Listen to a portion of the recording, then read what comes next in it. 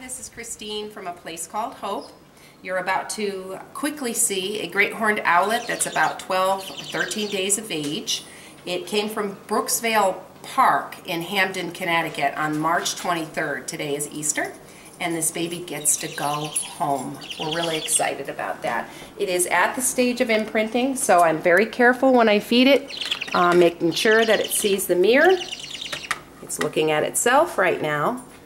It's talking and asking for some food. And I'm about to give it a whole mouse. Believe it or not, these guys can eat and swallow their full their food whole. It is eating pinky mice, so they're much smaller mouse. The bones are nice and soft. Beautiful little bird. Here's a size comparison. This is my hand. Baby's going home today to be. I don't need a hat.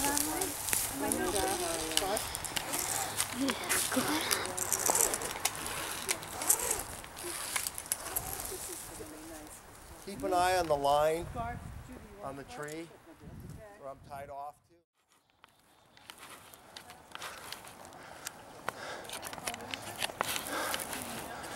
to. So, we're going to renest two babies instead of one.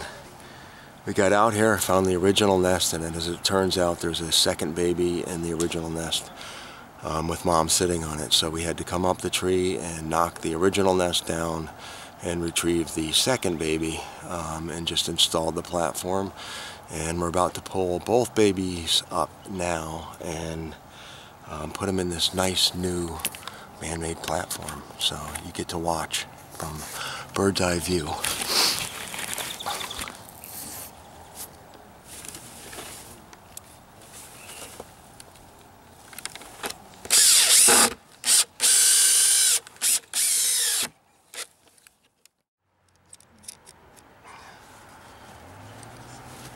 Okay, comes the chicklets. I know. You're going back in your new house.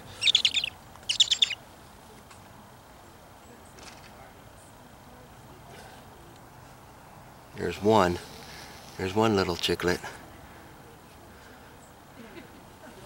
Going in the new nest.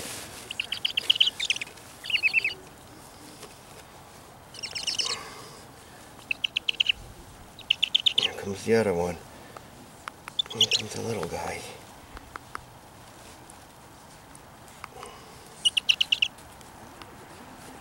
Oh, look at the size of those feet.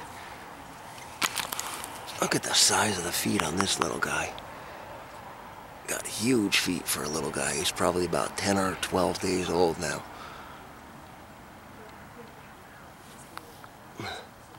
Any sign of mom?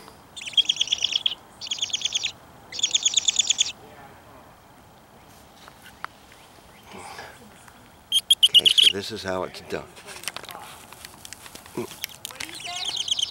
Ta-da. Not yet. Is it in the bag? Okay. Or what's left.